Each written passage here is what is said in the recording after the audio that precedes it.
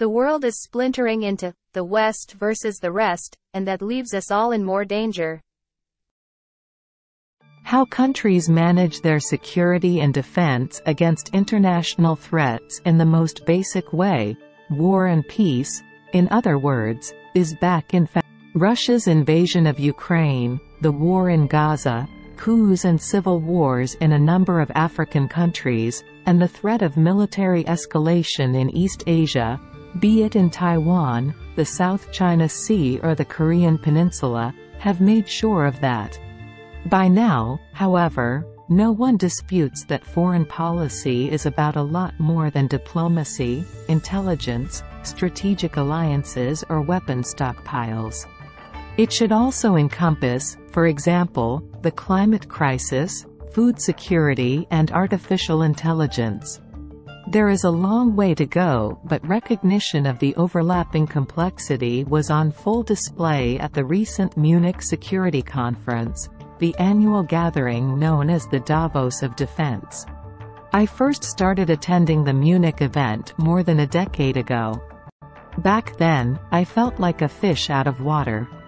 There were only a handful of women present at the conference and the vast majority of attendees were old-ish, white men in suits or military types in uniforms.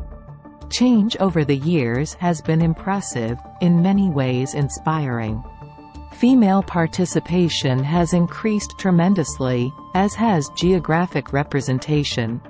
Of the dozens of heads of state and ministers present, Many now come from countries in the Global South. There is a much greater variety of participants, with presidents, ministers, generals and top spooks sharing the space with climate warriors, tech wizards, human rights activists and more. The climate crisis, energy, food security, artificial intelligence, migration, multilateralism, and global supply chains now feature prominently on the program.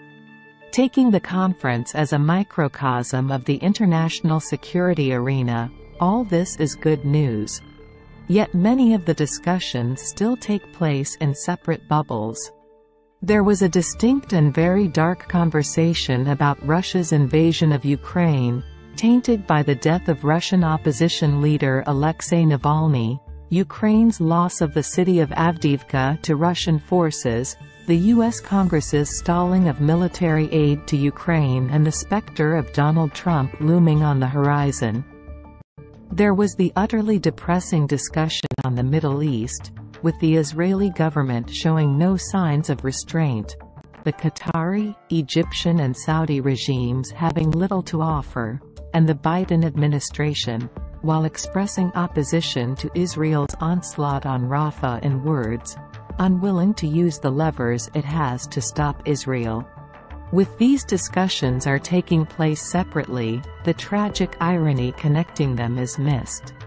The suspension of military assistance to Ukraine due to the U.S. Congress's stalling is providing Russia with a military edge, while in the Middle East, Joe Biden's unwillingness to even hint at the suspension of military aid to Israel lies at the core of the humanitarian catastrophe in Gaza. It is not just debates on the wars in Europe and the Middle East that are disconnected. Even more so, it is true for other topics at the top of the global agenda. Countries in the global north are absorbed by Ukraine. Those in the global south are far more concerned with the climate emergency, food security and mass displacement. And despite the obvious linkages between them, the war-food security nexus being the most obvious, the conversations often take place in different spaces and involve different people.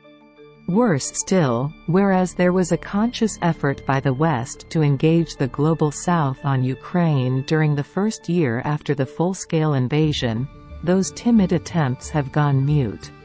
Raising Ukraine today elicits no sympathy whatsoever given the West's horrifying double standards, if not complicity, with Israel's war in Gaza.